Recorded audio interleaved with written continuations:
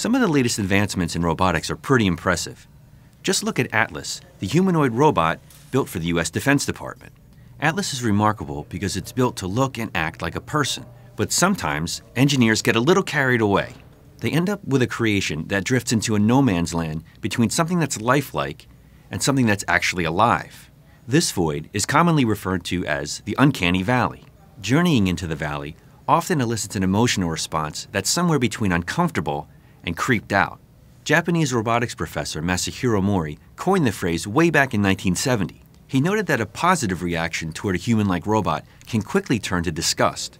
Mori thought this response was triggered by subtle imperfections in the robot's appearance. Another hypothesis has to do with our expectations of how people and robots are supposed to look and act. Atlas, for example, clearly looks like a robot. You'd have no problem leaving him in your garage overnight. Animation also provides us with some examples of the uncanny valley effect. Movies like The Polar Express and Beowulf were widely panned because their characters ventured into uncanny territory.